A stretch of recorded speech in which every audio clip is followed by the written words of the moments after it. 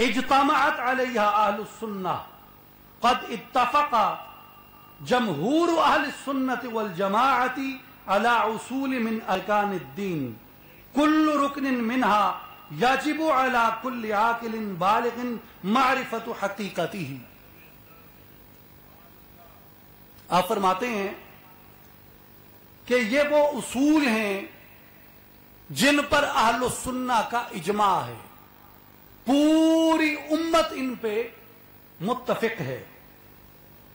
और तहकीक आल सुन्ना व जमा के जमहूर उलमा ने ऐसे उसूल पर इतफाक किया, जो कि दीन के अरकान में से है। जो भी दीन का रुकन है, उसकी हकीकत की मारिफत हर आकिल और बालिग पर वाजिब है। इन यानी पंद्रह अरकान की मारिफत हकीकत हर आकिल बालिग मोमिन मुसलमान पर वाजिब है ताकि वो निजात वाले फिरके में शामिल हो जाए। वदल्लू मन खालफहम। वदल्लू मन खालफहम।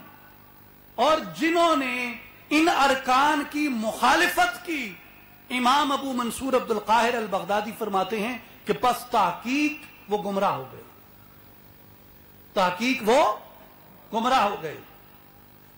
अब वो सारे अरकान तो अगर मैं पढ़ूं तो एक तवील बहस है। उनमें दो अरकान, आठवां और चौदवा। कितवा? आठवां एट एंड फोर्टीन आठवां और चौदवा रुकन सुन लें, जो फिरका नाजिया की अलामत के तौर पे Sheikh Abu Mansur Abdul Qahir al Baghdadi ने, अल फरक बैन अल फिरक में बयान फरमाया, वर रुकन सामिनु फ़ी मारिफत मोजातिलंबिया व करामात अलिया वो फरमाते हैं कि आठवां रुकन यह है कि हर आकिल बालिग मुसलमान मोजात अंबिया और करामात अलिया की मारिफत रखता हो। वह रुकन राब अशर। चौदवा रुकन यह है, वह रुकन राब अशर फ़ी मारिफत अहकामिल अलियाई व मरातबिल आइमतिल अतकिया। चौदवा रुकन यह है कि वो अलिया के आकाम और आइम तकवा के मरातब की खबर रखता हो।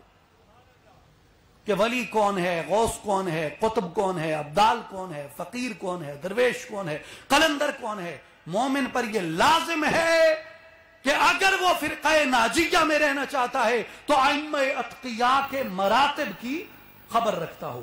फहादी ही उसूल इतफका आलू सुन्नत आला कवायदिहा व दल्लू मन खालफहम फीहा।